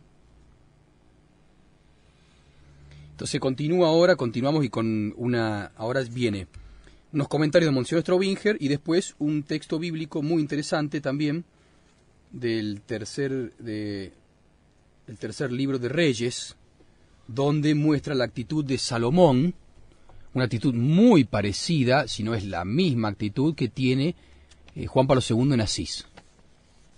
Él abiertamente no es que adora las otras religiones, pero permite que se adoren las otras religiones. Entonces dice el texto bíblico, ya no estaba su corazón enteramente con Yahvé. Hay que leerlo. Pero primero leamos los, los, lo que dice Monsignor Trobinger de estos pasajes. Yo voy a leer esto porque esto lo puse yo. Al sonar la séptima trompeta aparece el anticristo. Aparece, por supuesto, los anticristos. Pero no se lo nombra, pues esto es visto desde el cielo y si, los, y si ni los ángeles del cielo saben ni el día ni la hora, al sonar la séptima trompeta aparece el anticristo y ya comienza a contarse los 1260 días, o al menos el tipo de los 1260 días, que comenzó entonces del Concilio Vaticano II. Comenzó la parucía, esto, esto es motivo de que en el cielo se alegren más, porque el reino de este mundo ha venido a ser reino de nuestro Señor y de su Cristo, y destruido ya el pecado, reinará por los siglos de los siglos. Amén. Fíjese que reinará está en futuro. Entonces, se consuma el misterio de Dios. la séptima tuba, a pesar de que es un mal universal, va a ayudar a definir a cada, a cada uno quién es quién y quién está en el número de los salvados y quién está en el número de los réprobos. O sea, es, una, es una piedra de toque el concilio. Entonces, lo que dice Monsignor Straubinger. En. Al llegar a la séptima tuba. Al llegar a la séptima tuba, recapitula, mas nos enseña algo que no se había visto en los anteriores septenarios. Pues la parucía presentada abiertamente está recién en el capítulo 19, versículo 11. Después de la séptima tuba y el tercer ay, suceden. La mujer coronada, la aparición de la bestia de siete cabezas y diez cuernos, es decir, el anticristo, la bestia que subía de la tierra, es decir, el pseudo profeta, el cordero sobre el monte Sión, las siete copas llenas de la cólera de Dios, la gran ramera, ruina, juicio y venganza de Babilonia, y recién después de la destrucción de Babilonia, aparece el verbo de Dios montado en un caballo blanco y la consecuente destrucción del anticristo. Entonces, desde la séptima tuba suceden tantas cosas que se las llama a todas juntas el tercer ay o la tercera desdicha. Claro, o sea, aquí tiene que pasar todo esto. El Concilio Vaticano II, eh, la mujer coronada, la aparición de la bestia de siete cabezas y diez cuernos, la aparición del pseudo profeta, el cordero en el monte Sion, o sea, el arrebatamiento, porque el Cordero está con los 144.000 vírgenes, las siete copas llenas de la cólera de Dios, la gran ramera, la ruina y juicio de Babilonia, y después aparece nuestro Señor para destruir el anticristo. Al menos ese es el orden que da eh, el Apocalipsis. Y después continúa Monseñor Trobinger, a ver. Yo no sé si... No, todavía no. Dice, porque descendió a vosotros el diablo lleno de gran furor sabiendo que le queda poco tiempo. Claro, el tercer ay es por eso. el tercer ay, la tercera desdicha es porque descendió el diablo a vosotros con gran furor porque sabiendo que le queda poco tiempo. Y recordemos la frase reveladora de Pablo VI de nuevo, el humo de Satanás ha entrado en la iglesia. Descendió el diablo a vosotros con gran furor sabiendo que le queda poco tiempo. He aquí la respuesta de San Juan, el triunfo del Redentor y de, su iglesia están asegurados. A pesar de que descendió el diablo y, hay el, y se da el, gran, el tercer ay, sin embargo, San Juan habla del triunfo del Redentor y de su iglesia. La iglesia siempre será perseguida. La lucha de los poderes de las tinieblas contra ella durará siempre sobre esta tierra, pero nunca, nunca dejará la iglesia de salir victoriosa. Y ahí, continúa, ahí Monseñor Trowinger hay que, sí, me parece interesante entender qué es la iglesia sí. Dentro de este, de este, de esta posición en la cual nos, este, nos vuelve a reflejar Monseñor Strobinger, nunca dejará la iglesia de salir victoriosa, pero obviamente no habla de esta institución de congregación que hablábamos ayer, Sí. sino más bien Los de- congregados. de los congregados. O sea, claro, la diferencia que hace muy, muy sabiamente el padre Van Ristel, Antonio Van Ristel, es que la iglesia como instrumento de congregación y la iglesia como congregación. Claro. El instrumento, instrumento aquellos que eh, trabajan para congregar a la esposa de Cristo, no necesariamente después están en el número, de- pueden, tienen que estar en el número de los congregados. Y eso lo, lo dice San Pablo. Él, yo trabajo, dice él, que trabaja y da golpes para no quedar afuera. Él le ha predicado a muchos y él no quiere quedar afuera. Entonces continúa entonces, ahora vamos a ver qué, qué, qué dice Monseñor Strobinger sobre, con- continúa diciendo sobre estos, te- estos temas. Comenta así estos versículos Monseñor Strobinger, los tres ayes indican que las tres plagas que siguen serán más espantosas que las cuatro que preceden. Ante el reino de Cristo que llega, los cielos prorrumpen en júbilo. Muchos expositores creen que aquí se trata del triunfo de Jesús sobre el anticristo, a quien él matará con el aliento de su boca y con el resplandor de su venida. Es decir, que este versículo es el antípoda de San Juan 14:30, donde Jesús declara que el príncipe de este mundo es Satanás. Entonces, después de la muerte del anticristo, como comentan algunos santos padres e intérpretes, se convertirán los judíos, no habiendo más obstáculo al establecimiento del reino completo de Dios y de Cristo sobre el mundo, como expresa Filión. Pirot señala como característica del estilo apocalíptico la falta de esperanza en el siglo presente para refugiarse en el siglo futuro. Podría extenderse esta característica a todos los escritos del Nuevo Testamento, siendo evidente que tener esperanza significa no estar conforme con lo presente, pues quien está satisfecho con lo actual se arraiga aquí abajo. De ahí que a los mundanos le parezca pesimista el Evangelio. Bueno, esa es una de las cosas que también nos cuelgan y nos achacan, es que uno es, esperando la segunda venida de nuestro Señor, eh, considera el siglo presente y dice que somos eh, pesimistas. Y sin embargo aquí dice, característica del estilo apocalíptico es la falta de esperanza en el siglo presente. Lo contrario es que los mundanos están muy cómodos con el siglo presente. Y entonces no quieren, no quieren reconocer todo esto. Y después se lo extiende a todo el Nuevo Testamento. Y aquí continúa algo también muy interesante. Y podríamos agregar sobre todo el Apocalipsis, del cual escribió Monseñor Straubinger, el espíritu de profecía consiste en dar testimonio de Jesús y de sus palabras. En Apocalipsis 1, 9, 12 y versículo 17, donde parece mostrársenos que hay una persecución especial para los que tienen este testimonio de orden profético. O sea, aparte de la persecución que tiene todo cristiano, si es buen cristiano, hay una persecución especial para aquellos que prediquen el Apocalipsis. Testimonio de orden profético. Eso lo comenta Monsieur Strobinger. Los 24 ancianos que están sentados en sus tronos en la presencia de Dios parecen simbolizar el Antiguo y Nuevo Testamento, los doce patriarcas y los doce apóstoles que por su parte representarían a todos los santos del cielo. Felipe Sio, de San Miguel, agrega que están vestidos de bellos mantos de la inocencia y de la pureza, y como que están en una continua fiesta. Tienen coronas de oro como reyes, y como vencedores ilustres del mundo, el demonio y la carne. El versículo 17 es una alabanza, como leemos en el Salmo 92. Allí, Monseñor Strobinger comenta lo siguiente. La Biblia de Sales comenta este último texto del Apocalipsis después de señalar la caída de Babilonia y pone la siguiente nota de Martini. Según nuestra manera de entender, Dios comienza a reinar y, ejercitar su sempiterno y absoluto imperio que tiene sobre todas las cosas, sólo cuando, ejecutadas sus venganzas y castigados los enemigos, demuestra contra estos su absoluta potestad no menos que su generosa bondad hacia los elegidos reunidos en su reino por todos los siglos. En el versículo 19 se habla del arca de la alianza. Oculta a los ojos de los mortales en el templo de Jerusalén, se manifestará a todos, lo cual significa el triunfo final del Cordero que fue inmolado y que ahora será el león de Judá. Los terribles cuadros que van desfilando ante nuestros ojos son otros tantos motivos de fe, amor y esperanza para los que tienen los ojos fijos en aquel que está simbolizado en el arca del testamento. Ella figuraba, dice Filión, el trono del Señor en medio de su pueblo.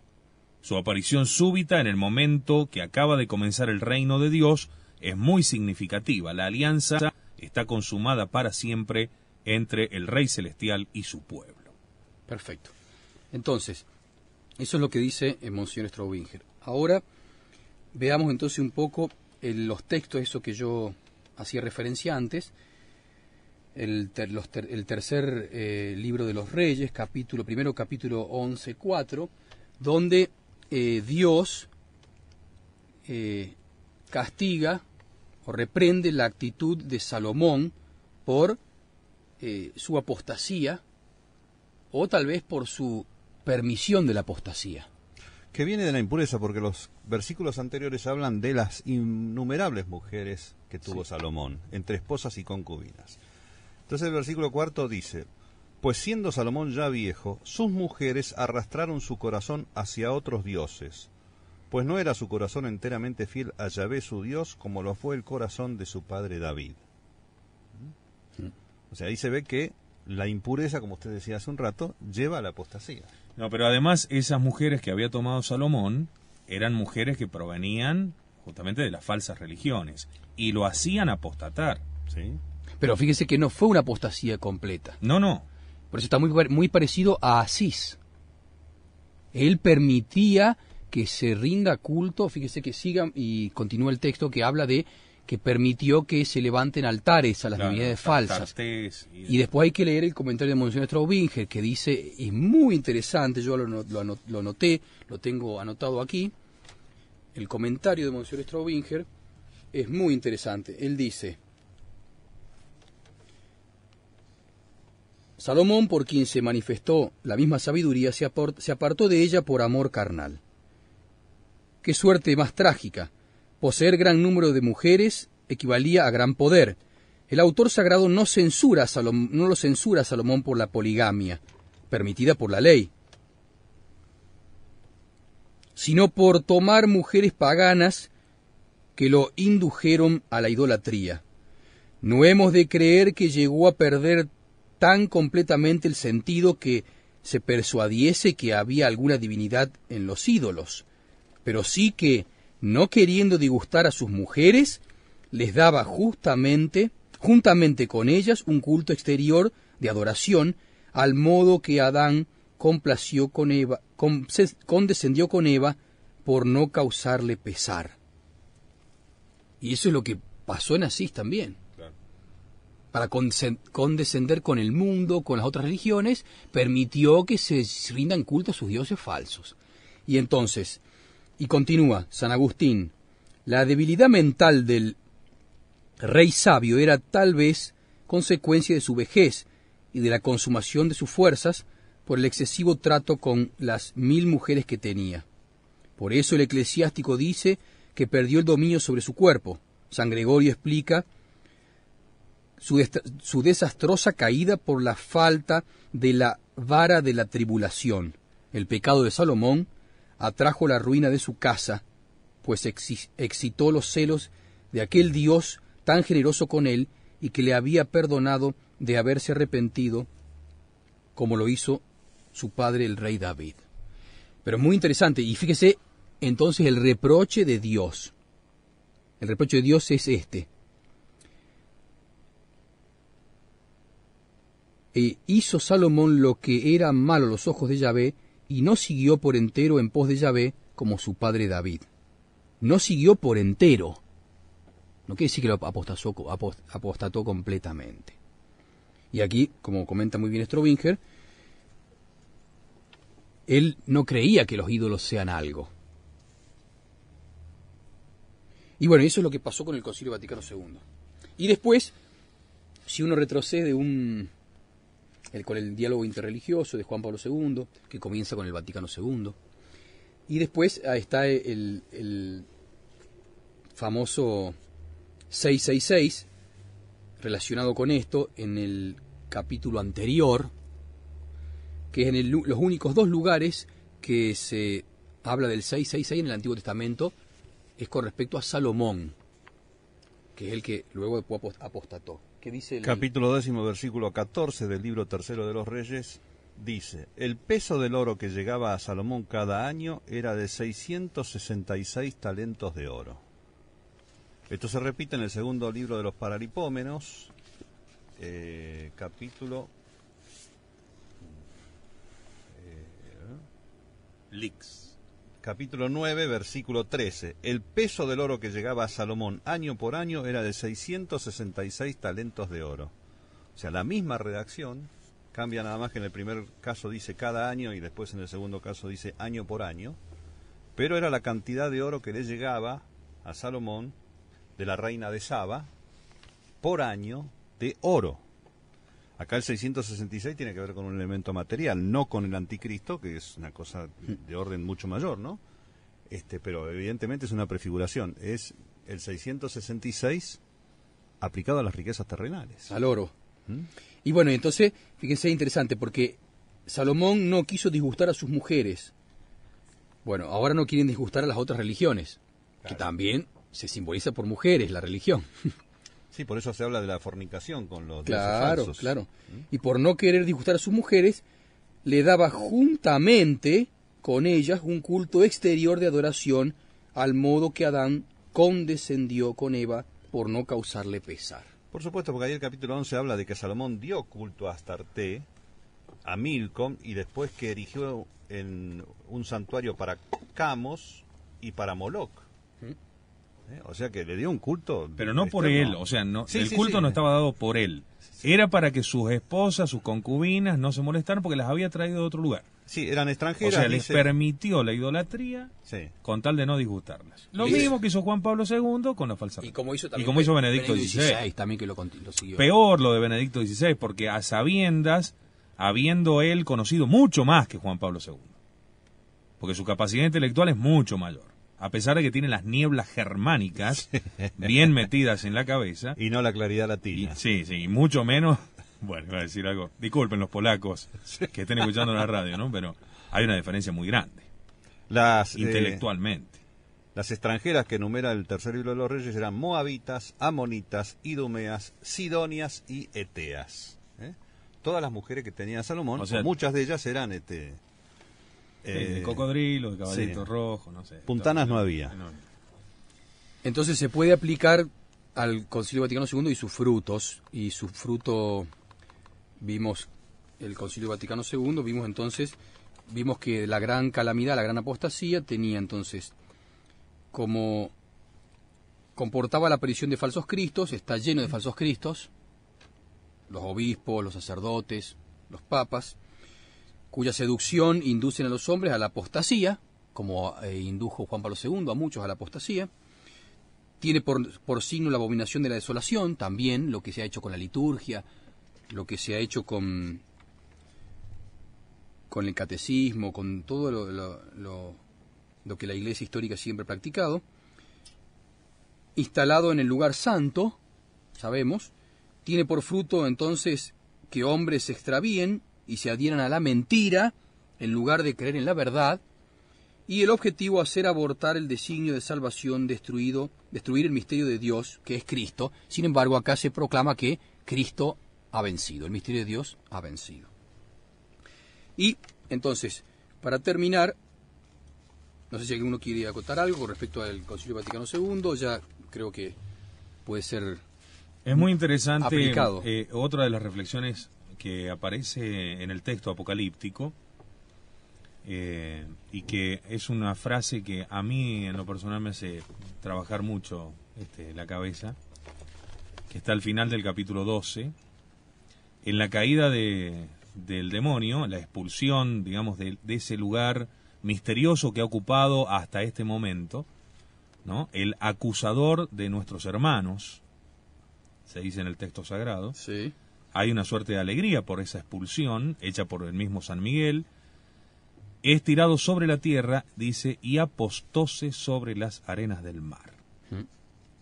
Eso también es una referencia. Sí, sí, sí, claro. Lo vamos a ver mañana porque, como decía, las arenas del mar hace referencia a la descendencia de Abraham como las arenas del mar. Claro. Y de ahí sale el anticristo. Es difícil no ver esta acción demoníaca, este, ya digamos, desembosada, tremenda, desde la década del 60. Si uno puede analizar no solamente la referencia directa a la cuestión religiosa a través del concilio, sino en líneas generales a todo lo acontecido en el mundo. A partir de la década infame del 60 en adelante, uno no puede dejar de ver la acción del demonio. Y evidentemente cuando la iglesia declina, la iglesia era faro del mundo, el mundo cae detrás de esa declinación. Eh, si nosotros, si son la sal de la tierra y la sal pierde su sabor, ya no hay sal en el mundo. ¿Eh? Ahora, eh, yo termino este trabajo diciendo, preguntándome, y ahora le voy a explicar por qué, esta séptima trompeta es la misma a la que se refiere San Pablo en la primera carta a los tesalonicenses 4.16.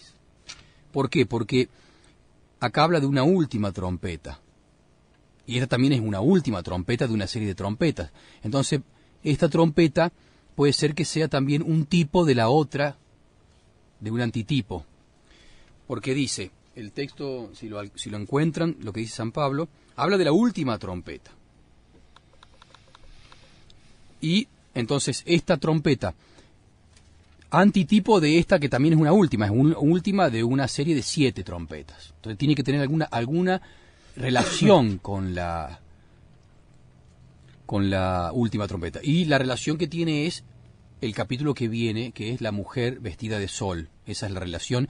Y ahora yo voy a explicar después que lean el, la primera Tesalonicenses 4.16.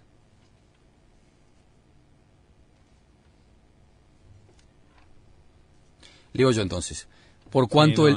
el liturgo nuestro no por cuanto el mismo Señor, a la orden del arcángel, no al sonido de la trompeta de Dios, descenderá del cielo y los que murieron en Cristo resucitarán los primeros. Después nosotros los vivos, los que hayamos quedado, seremos arrebatados con ellos sobre nubes al encuentro de Cristo en el aire, y así estaremos con el Señor eternamente. Claro. Entonces habla de una al sonido de la última trompeta, al sonido de la trompeta se tiene que dar necesariamente al sonido de esta trompeta que dice San Pablo, la resurrección, la primera resurrección, y el arrebatamiento de los que estén vivos en ese momento. También, como dijimos, esta séptima trompeta es la última de una serie de siete trompetas. Entonces, después, dice, el mismo apóstol nos, responde en la primera carta a Corintios 15, 52. Dice, En un momento, en un abrir y cerrar de ojos, al son de la última trompeta, porque sonará la trompeta y los muertos resucitarán en un estado incorruptible y entonces nosotros seremos transformados. Bien, fíjense, entonces también ahí habla expresamente de la última trompeta. También esta séptima es una última, entonces tiene que haber alguna relación. La, la relación que yo encuentro es, tiene que ser un tipo de la última que es el antitipo. Y entonces, en aquella comienza la parucía, resucitan, eh, se da la, cuestión de la primera resurrección y el arrebatamiento. Entonces, tiene que haber alguna referencia a algún arrebatamiento. Y esto yo lo comparto, lo, lo, lo, leo de, el padre Van Ristel, dice,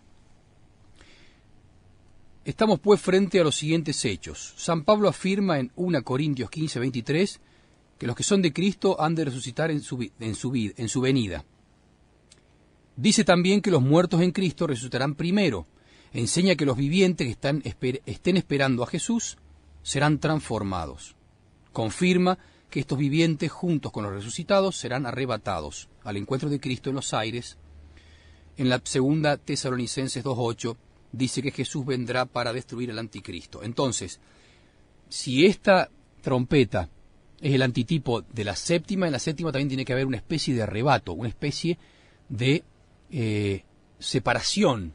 Y uno ve que después del Concilio Vaticano II se da la separación de la tradición, separación de la tradición de la iglesia oficial. Tiene que tener algo también parecido, esta séptima trompeta, a la última trompeta. En la última trompeta se va a dar la resurrección, viene Cristo, se da la resurrección y hay un arrebato de la iglesia. Pero ese arrebato de la iglesia tiene que haber sido antes, de alguna manera, empezando, em- se empezó a librar de la gran apostasía. Y eso se ve que pasó con la tradición que fue como, como, fue- como arrebatada, sacada de eh, la iglesia oficial, ¿no? Y eso lo vamos a ver más en extenso mañana. Y ahora algunos tradicionales están siendo absorbidos también, ¿no? También lo vamos a ver mañana, que eso es muy curioso. Eso cuando, Le cuando, brillan los ojos al cura. cuando, cu- cuando veamos el texto, porque en el texto bíblico está todo, todo está. La aplicación moral y una aplicación que vamos a hacer hoy en día, no digo, eh, yo creo, no es que no es que tiene que ser así necesariamente. No, y además este esto da idea de que si el tiempo se extendiera, y se está extendiendo, este, por supuesto no va a llegar al límite, pero a medida que pasa el tiempo van defeccionando aquellos que pues, deberían ser elegidos. Mm, Claro. ¿eh? Pero claro, pero y si yo me pregunto, ¿por qué? Si, ya lo vamos a ver, si hubo una especie de arrebato, un principio de arrebato donde fue librada la tradición, no significa que queda completamente librada de las acechanzas de la serpiente, dice. La serpiente. Monsieur Lefebvre dijo de, de, de, de- de Ratzinger que era una serpiente. Una aplicación, digamos. No, no, pero no así nomás. Claro. Es una aplicación seria. Porque ahí cuando se habla del dragón, el dragón de fuego, ahí habla de la serpiente. Sí, es verdad. La serpiente utiliza. Pero bueno, eso lo vamos a ver si Dios quiere mañana porque se acaba el tiempo. Muy bien, muy bien. Muchas gracias, padre. Muchas gracias, don Luis Manzano. Muchas gracias a ustedes. Muchas gracias a todos los que han estado siguiendo las alternativas aquí en el estudio, que está recontrapoblado. También a nuestros amigos que nos escuchan a través de nuestra emisión online y en nuestra emisión a través de la frecuencia modulada aquí en San Luis. Muchas gracias. Hasta mañana a las 10 de la mañana con ya la última entrega de estos especiales junto al padre Gabriel Grosso. Esta noche la celebración de la Santa Misa En la casa de Mario Ledesma en la casa de la familia Ledesma a las 20. a las 20 horas. 20 horas. Muy bien. Muchas gracias, padre. ¿eh? Muchas gracias a ustedes. Especiales de Cristiandad. Un espacio de investigación profunda. Sin miedos. Sin tabúes. Para llegar al corazón de los problemas que aquejan a nuestra Santa Iglesia. A nuestra patria. A nuestra sociedad. A nuestras almas. Todos los temas a fondo como solo Radio Cristiandad puede mostrarlos.